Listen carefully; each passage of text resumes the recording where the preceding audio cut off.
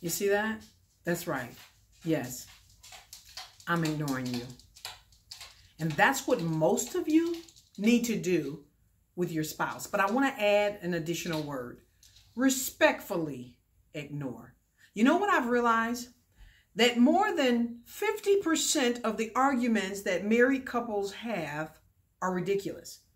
They carry no weight and they are empty and meaningless, which means you need to respectfully ignore your spouse. That's what you need to learn how to do. Why?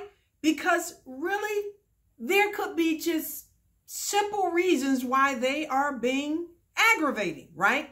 It could be because they're having a they had a bad day at work. Maybe they had a bad day at work. And if they do, as a spouse, you need to discern that so that you can respectfully ignore them and not take it to heart. Maybe your wife it's that time of the month and you know we can be a little emotional during that time and we really need for you to respectfully ignore us.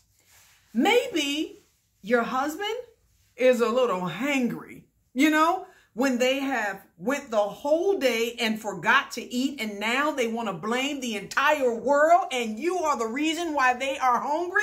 Yeah they just might be a little hangry. And so you have to respectfully ignore them in order to get through the rest of your day because you'll end up arguing about something that really means nothing.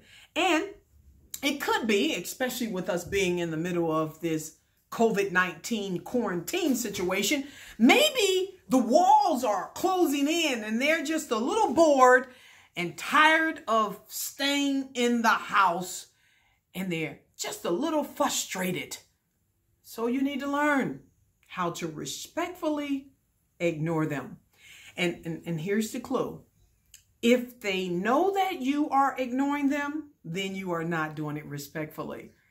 It's when they don't know that you are ignoring them is when you are respectfully ignoring them and you continue to love them. You continue to support them. You continue to respect them. You go ahead and get your husband that sandwich that he needs or that piece of chicken he needs because he's a little hangry. You go ahead and rub your wife's back because you know it's that time of the month and you know her body is all out of control. And so you respectfully ignore them, but you serve them at the same time. Listen, guys, it is not that serious. Serious most of the time.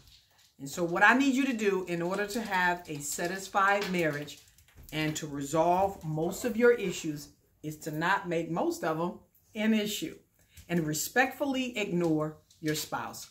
I'm your girl, Mrs. Toy Banks, the world's most satisfied wife, helping you solve your marriage problem. Do me a favor and go ahead and subscribe to my YouTube page entitled Solving Your Marriage Problem, and you will be supporting me help build and strengthen and solve many marriage problems. And I thank you in advance for it. Have a great day. God bless.